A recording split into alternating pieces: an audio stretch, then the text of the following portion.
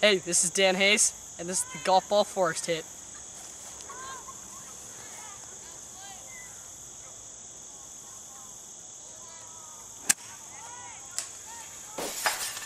Oh, I think you hit something.